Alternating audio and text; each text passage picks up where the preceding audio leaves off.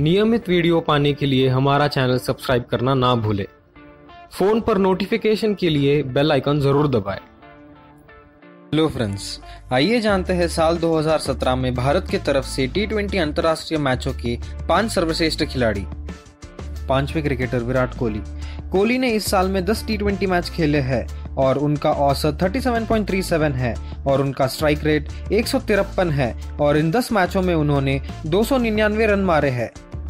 श्रीलंका के खिलाफ प्रेमदासा स्टेडियम में उन्होंने बयासी रनों की पारी खेली, जो इस साल के सबसे बेहतरीन पारियों में एक है। चौथे क्रिकेटर कुलदीप यादव। कुलदीप यादव ने आठ मैचों में 12 विकेट लिए हैं और विकेट टेकर के लिस्ट में भारत की तरफ़ से दूसरे नंबर पे है। इस दौरान उनका औसत 18.5 था और इकोनॉमी रेट 7.65 था।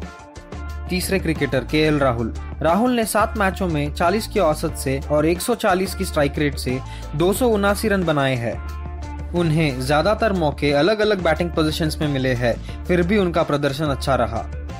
दूसरे क्रिकेटर रोहित शर्मा, रोहित ने करीब 32 की औसत और 171 की स्ट्राइक रेट से दो सौ तिरासी रन बनाए हैं।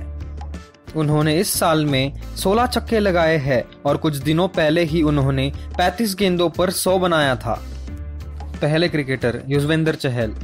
चहल ने 11 मैचों में 23 विकेट लिए हैं और उनका औसत 14.13 और उनका इकोनॉमी रेट 7.83 था। उनका इस साल का सर्वश्रेष्ठ प्रदर्शन इंग्लैंड के खिलाफ 6 फॉर 23 रहा है। तो फ्रेंड्स आपके हिसाब से ये लिस्ट का ऑर्डर क्या होना चाहिए? कमेंट सेक्शन में ज़रूर बताएँ और इस वीडियो को लाइक और शेयर करना ना भूलें।